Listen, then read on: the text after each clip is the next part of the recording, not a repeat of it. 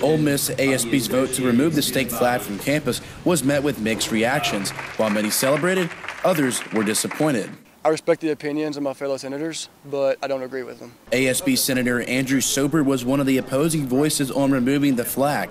Soper recently started a petition to keep the flag flying at Ole Miss. I caught word that if I get 10% of the student body to sign this petition, which is like 1,700 people out of 17,000, then we have the potential of making it a, a, a campus-wide vote, which is what I first off believe, first off, because a Senate composed of 49 people should not dictate or should not speak for 15,000 students on campus. ASB Senator Allen Coon was emotional after last night's decision. Kuhn has worked with the Ole Miss NAACP for many weeks to ask for the removal of the flag. It's impactful to know that the voices of students that are affected by this symbol, they were heard and that they matter and that we respect their dignity, we respect their their voices and that we're going to fight for change. Although there is a mixed reaction at Ole Miss, campus leading organizations like the Sigma Nu fraternity have already taken down the state flag. In a statement to the Daily Mississippian, Sigma Nu President Taylor Massengill said, in light of the recent decision made by the Associated Student Body Senate,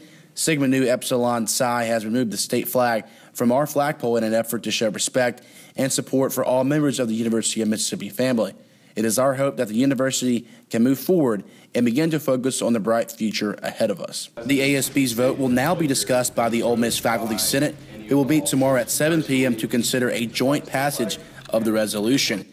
If the resolution passes, Coon is confident senior campus leaders will listen. Staff council last night already passed through a resolution um, supporting um, taking down the flag. So we're seeing that governing bodies across this campus are addressing this issue, and we anticipate the senior administration to to um, hear our voices. Browning Stubbs, Newswatch.